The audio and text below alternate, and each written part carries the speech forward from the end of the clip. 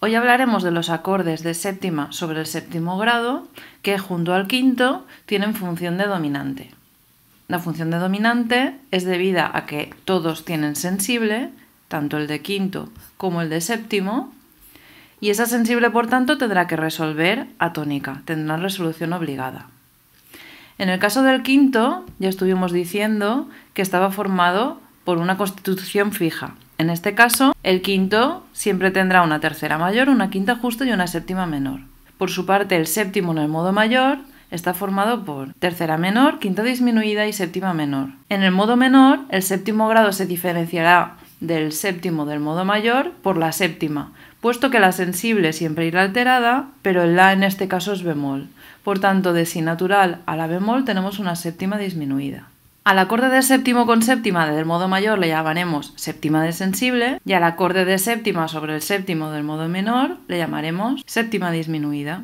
Recordad, si estáis analizando y os aparece un acorde con esta constitución, solo podrá ser quinto. Si os aparece con esta que hemos dicho, tercera menor, quinta disminuida, séptima menor, podrá ser séptimo del modo mayor. Aunque también tened en cuenta que podría aparecer en un segundo del modo menor. ¿Cómo sabréis la diferencia? Pues si sabéis qué tonalidad estáis, veis la fundamental y sabéis si es el segundo o es el séptimo. El acorde de séptima disminuida puede aparecer tanto en el modo mayor como en el modo menor. O sea, este acorde podría aparecer tanto en do menor como en do mayor. Pero si tenemos esta constitución, tenemos claro que solo puede ser un séptimo grado. En cuanto a los cifrados, contando desde el bajo dónde está la séptima y dónde está la sensible, podemos saber de cuál se trata y así no hace falta aprendernoslos de memoria. En el caso del estado fundamental de la séptima de sensible, recordamos la séptima de sensible es del modo mayor y la séptima disminuida del modo menor. Si contamos desde la fundamental, el acorde es si re fa la, que tiene una séptima menor y una quinta disminuida. El cifrado sería 7-5 barrado. La primera inversión localizamos dónde está la séptima y dónde está la sensible. De re a la hay una quinta, que es justa, y de re a si, esa es la sensible, con lo que el cifrado sería más 6, 5. La segunda inversión contaríamos desde el fa, fa sol la si la sensible, más 4 y fa sol la, la tercera, 3. Y para la última inversión contamos desde el la la sensible y es un más 2. Y desde la la si do re tendríamos la cuarta. Este se pone, el 4 se pone para diferenciarlo del acorde de séptima disminuida que se cifrará solo con el más 2. En el caso de los cifrados del modo menor, de la séptima disminuida, haríamos lo mismo. Como en este caso estaríamos en do menor y la sensible es si be cuadro, de si a la bemol, la séptima es disminuida. Por eso el cifrado de este acorde será un 7 barrado. La primera inversión haremos el mismo procedimiento que antes. Contando desde el re, tenemos que la sexta es la sensible, más 6.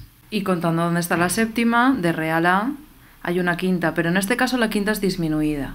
Por eso le pondremos el 5 tachado. La segunda inversión es el mismo procedimiento que antes. De Fa a Si, que es la sensible, más 4, y de Fa a La, que es la séptima, 3, más 4, 3. Y la última inversión, de La a Si, es la segunda y es la sensible. Cifraremos más 2. De esta manera nos hace falta aprenderos el cifrado, simplemente sabiendo que contando desde la fundamental donde está la séptima y clasificando el tipo de séptima o, de, o donde está la sensible, podemos saber qué cifrado corresponde a cada inversión. Entonces recordamos, séptima de sensible tendrá una séptima menor y es un acorde de quinta disminuida.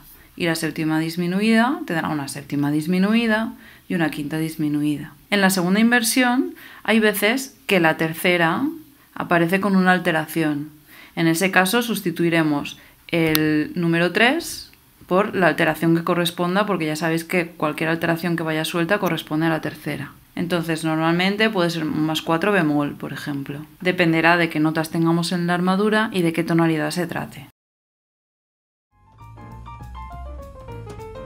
Cuando vamos a enlazar, tenemos las mismas resoluciones que con el acorde de séptima de dominante. La sensible va tónica y la séptima baja. En este ejemplo, como está en estado fundamental, tenemos resuelta la sensible a tónica. Lo siguiente sería la séptima que baje, en este caso al sol. La quinta, si os acordáis en el acorde tríada de quinta disminuida, la quinta bajaba, por tanto aquí también bajará. Y el re tendría que resolver al mi, puesto que si ponemos un do nos aparecen quintas entre el tenor y el soprano. Re, la, do, sol. Por eso tenemos que poner un mi. Y del mismo modo actuaríamos en el resto de inversiones.